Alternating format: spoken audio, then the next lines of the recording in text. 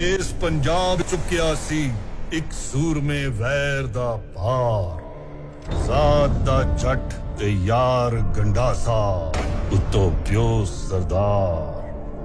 ਸੌ ਸੌ ਮੀਲ ਤੇ ਡੰਕੇ ਜੱਟ ਦੇ ਤੱਕੇ ਜਿਹੜਾ ਪਾਸਾ, ਜੱਟ ਤੋਂ ਵੱਧ ਖੜਾਕ ਸੀ ਕਰਦਾ, ਜੱਟ ਦਾ ਤੇਜ਼ ਗੰਡਾਸਾ ਇਸ ਪੰਜਾਬ ਦਾ ਹੋਰ ਇੱਕ ਥੰਮ ਸੀ, ਨੂਰੀ ਨੱਥ ਸਦਾਵੇ ਨਤਾਂ ਵਿੱਚੋਂ ਜਿਹੜਾ ਬੁਜ਼ਦਿਲ ਲੱਭੇ ਆਪੇ ਮਾਰਦਾ ਜਾਵੇ, ਦੁਸ਼ਮਣ ਫੜ ਫੜ ਮਾਰੇ ਜਿਹੜੇ ਅੱਖ ਦੇ ਬਣ ਜਾਵਨ ਰੋੜੇ।